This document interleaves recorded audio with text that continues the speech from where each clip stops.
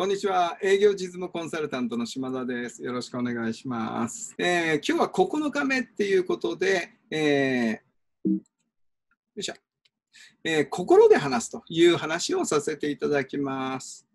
あの、ほとんどですね、まあ、これはベテランの人でも、あの、頭で考えながら話す。それ丁寧に話そうとするような人、あとはあんまり話が面白くない人っているんですね。あのはっきり言ってこの人たちはトーク練習不足です。それであの心で話せるようになると全く変わってくるんですね。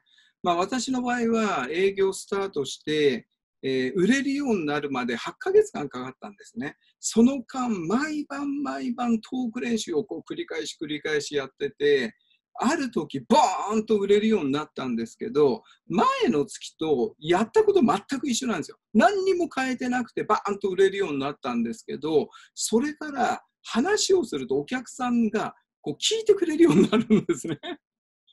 これ何なのかっていうと頭で話すのと心で話すのの違いなんですね。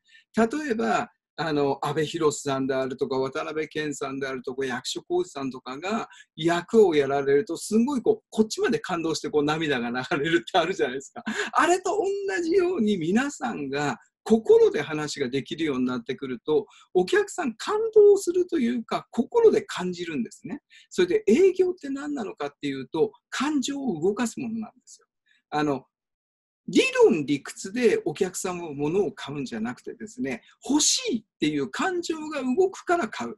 これを忘れちゃダメです。ですからあなたはトーク練習をとにかく繰り返しやる。そうするといつの間にか心で話せるようになるんで、そうするとポーンと売れるようになります。以上です。終わります。